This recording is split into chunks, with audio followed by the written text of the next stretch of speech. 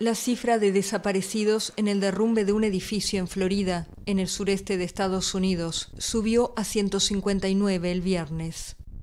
Durante la madrugada los socorristas sacaron tres cuerpos más de entre los escombros, lo que lleva la cifra de fallecidos confirmados a cuatro, pero el saldo podría ser mucho mayor.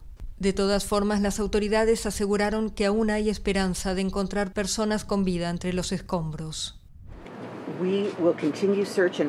Continuaremos las operaciones de búsqueda y rescate porque todavía tenemos la esperanza de encontrar personas vivas.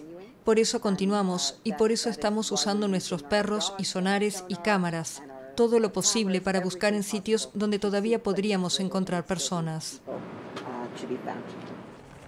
Las autoridades enfatizaron que no está claro cuántas personas estaban dentro del edificio al momento del derrumbe, ocurrido en la madrugada del jueves.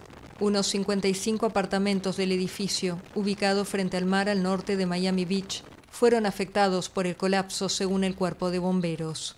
Según medios locales, el edificio fue construido en 1981 y tenía 130 viviendas.